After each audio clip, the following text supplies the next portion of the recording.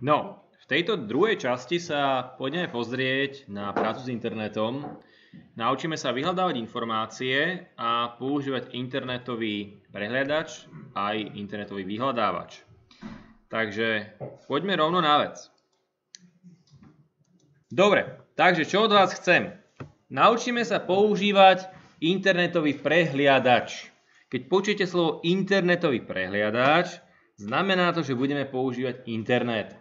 Je to medzinárodná globálna sieť, ktorá mi v podstate umožňuje si prezerať čokoľvek, akékoľvek informácie.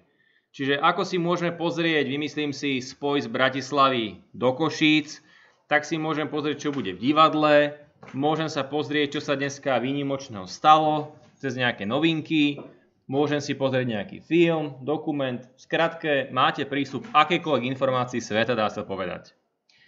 A aby som sa tam dostal, tak čo treba urobiť? Treba si uvedomiť, že to je tiež len program.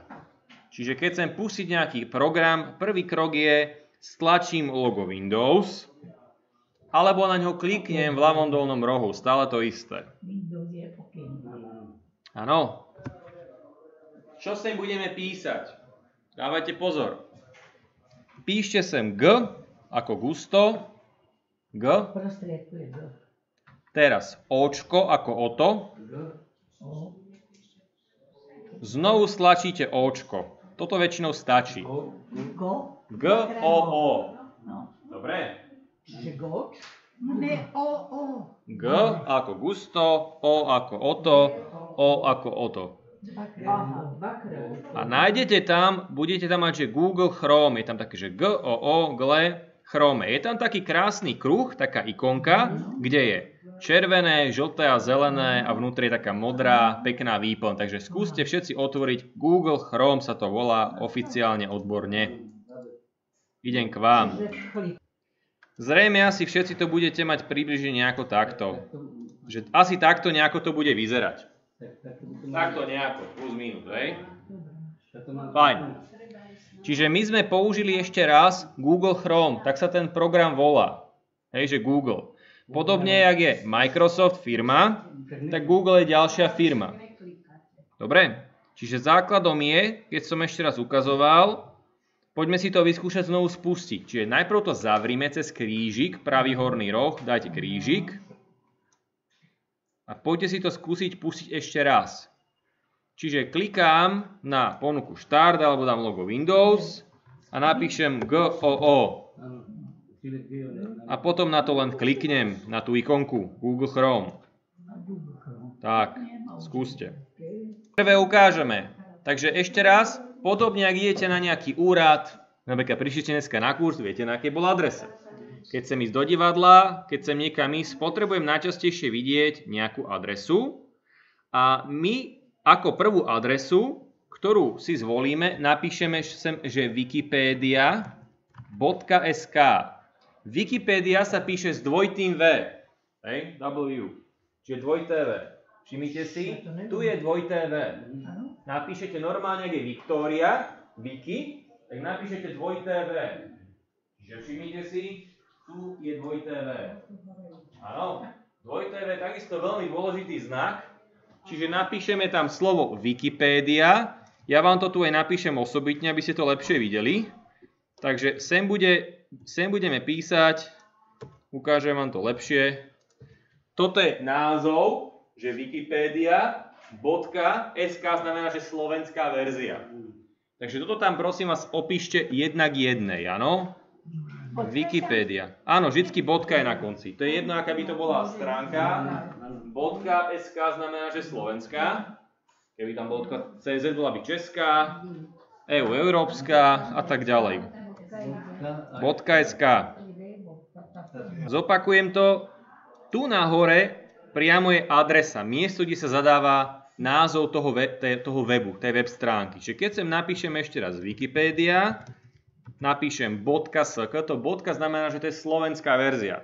Keby ste napísali .cz, bola by to česká. .hu, bola by to Hungária, Maďarská. AT, Austria, bola Rakúska a tak ďalej. Čiže existujú rôzne jazykové verzie. Tak, začnem jednou za mojou fintou. Tá finta je, Na vašej klávesnici som dneska hovoril, že tam je, máte že F1, F2, F3 a tak ďalej. Stlačte na vašej klávesnici funkčný kláves F11. Nie F a 11, ale F11. Všimnite si. A Tak. Nie, to je jedno, to je F11. Hľadajte F11. To jo. Tak, stane sa to, že sa vám zobrazí väčšia obrazovka. Toto je režim maximalizácie.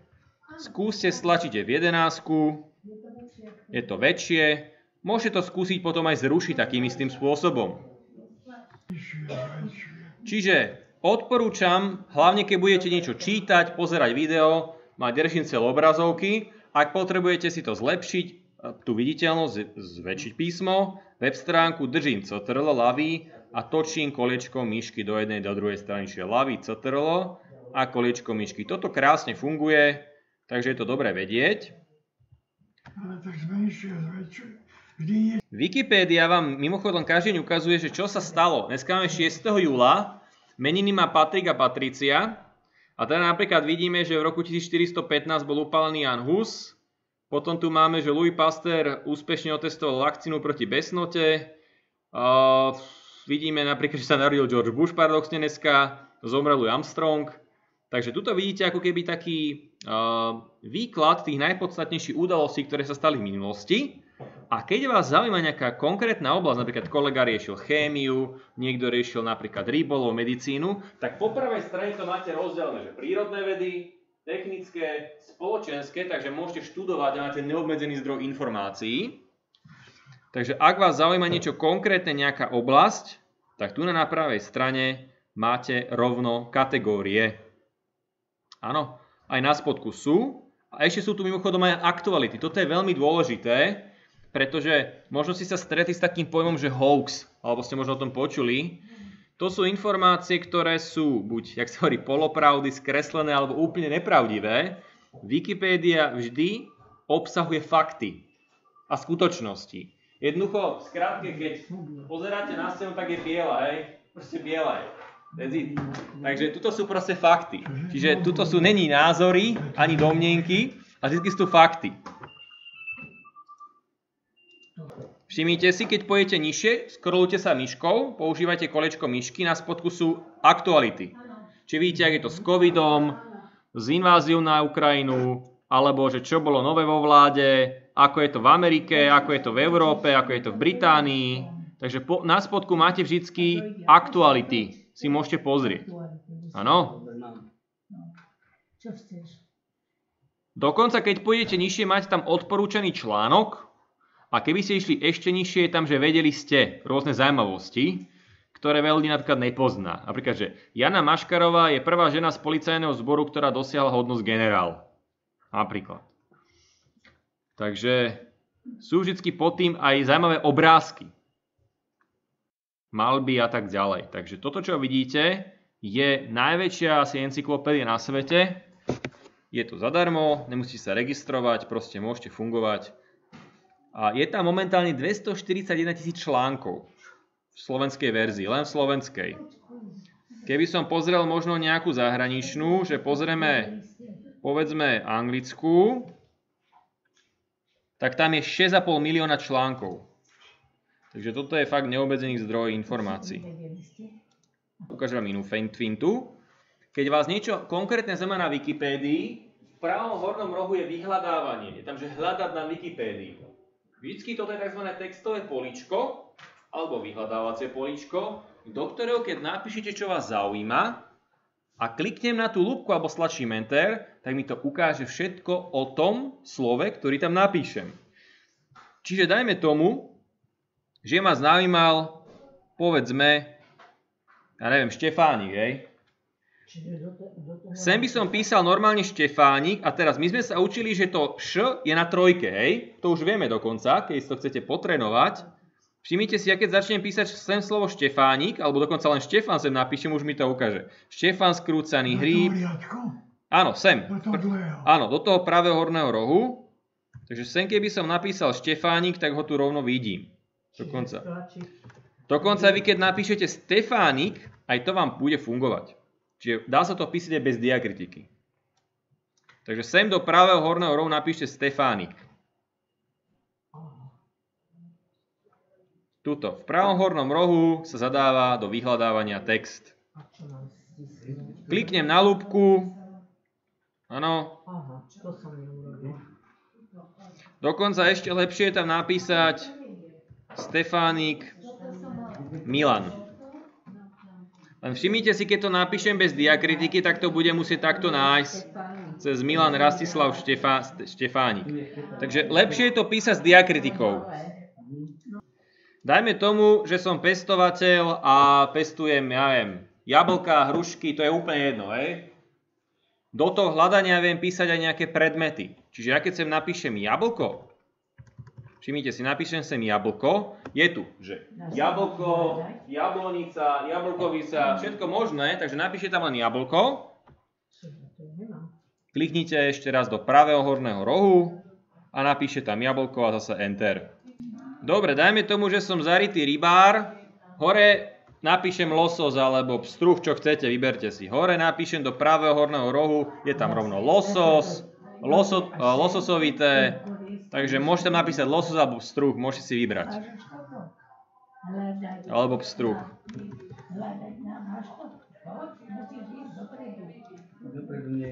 nezobrazujú. Takže vyskúšajte si tam nájsť nejakú rybičku, napríklad pstruh drú- dúhový alebo akýkoľvek. Takže pamätajte, hore do hľadania Wikipédii môžete písať v princípe, čo chcete. Osoby, veci, diela, historické udalosti, v skratke môže ísť fakt čokoľvek. Takže keby som si sem napríklad napísal Mars ako planétu, tak vidím Mars a vidím aj jeho fotky, hej. Všetky informácie o Marse. Takže sem môžete fakt písať čokoľvek, čokoľvek, doslova do písmena. Dobre. Keby som si sem napísal lipa a dám enter, tak vidíte, už tu mám lipu. No, a keď už struha dúbového nechcem čítať, tak potom čo urobím? Stále to isté. Kliknem na hľadať, napíšem text, stlačím enter. Stále to isté do kolečka. Hej, len napíšem, čo chcem hľadať. Tak. Dobre. Fajn. Dávajte pozor, toto bola Wikipédia, poďme sa pozrieť na inú zaujímavú stránku. Dajme tomu, že sa mi nechce čítať, ale chcem pozerať nejaké video, nejaký dobrý film. No, vie- to chcem. Tak, klikneme, pozor, toto je nová stránka, tuto Wikipédia, ale ideme na túto plusko. je. Plusko znamená otvor nový tab, otvor novú záložku, novú stránku. Takže hore klikneme na plusko, aby sme si išli otvoriť nové záložky. Si ideme ukázať, takže tu na cez to plusko budete písať. Ja to napríklad napíšem osobitne, dobre? Takže ja vám to napr- napíšem do toho poznámkového bloku, aby ste to videli. Dávajte pozor. Chvíľku vydržte. To, čo budeme písať, je web, web stránka, názov, ktorý sa píše Y, Očko ako Oto, U ako Uršula, čiže ono sa to číta, že youtube.com. To com je akože commercial, to znamená medzinárodná stránka. Toto budete písať do tej adresy a potom stlačíme Enter. Dobre, takže ešte raz. Toto je najpoužívanejšia web stránka na svete, doslova jedna z najpoužívanejších, najviac najčastejšie používaných na svete, pretože ľudia tam chodia každý deň pozerať videá, filmy a tak ďalej. Je medzinárodná. Čiže, čo od vás chcem? Keď ste na tej web stránke, tak podobne ako na Wikipédii, aj tuto máme hľadanie. Všimnite si, ono je to v prostriedku. Tu je hľadať. Čiže do toho hľadania si môžete napísať, čo chcete. Môžeme začať napríklad, že sol na zlato sme mali minule. Sol na zlato, celý film si tam napíšte. Hore do hľadania napíšte napríklad Bean. Je akože Mr. Bean. Nie, hore do hľadania nič neprihlasujeme. Hore, kde máte hľadať, kde sme zadávali sol na zlato, napíšte tam Bean, akože Mr. Bean. Skúste si tam napísať Mr. Bean, alebo len, Bean, B-E-A-N. Áno, skúste si to napísať. A dáte Enter. To zlato má zostať? Nie, vždycky máte len jednu vec otvorenú. Pestovanie. Sem môžete hľadať, čo chcete. Ja keď sem dám, že pestovanie, pesničky, fakt. Všimnite si, pestovanie paradajok, uhoriek. Tu sú normálne celé proste videá toho, ako sa pestú napríklad na farmách uhorky. Čokoľvek, rajčiaky. Všimnite si, vylamovanie výhonkov. Sadenie paradajok. Čokoľvek, čo vás zaujíma.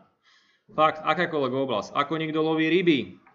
Ako sa stará o záhradu. Všimnite, tu je Ivan Hričovský. Prečo rajčiny rastú nerovnomerne. Normálne si môžem pozrieť celé video. Ako sa sadia. Ako sa pestujú. Takže sem fakt môžete písať čokoľvek. Na vec, cez plusko si skúste ešte otvoriť jednu novú kartu. Tuto kliknite prosím vás opäť na plusko, aby ste si otvorili novú kartu.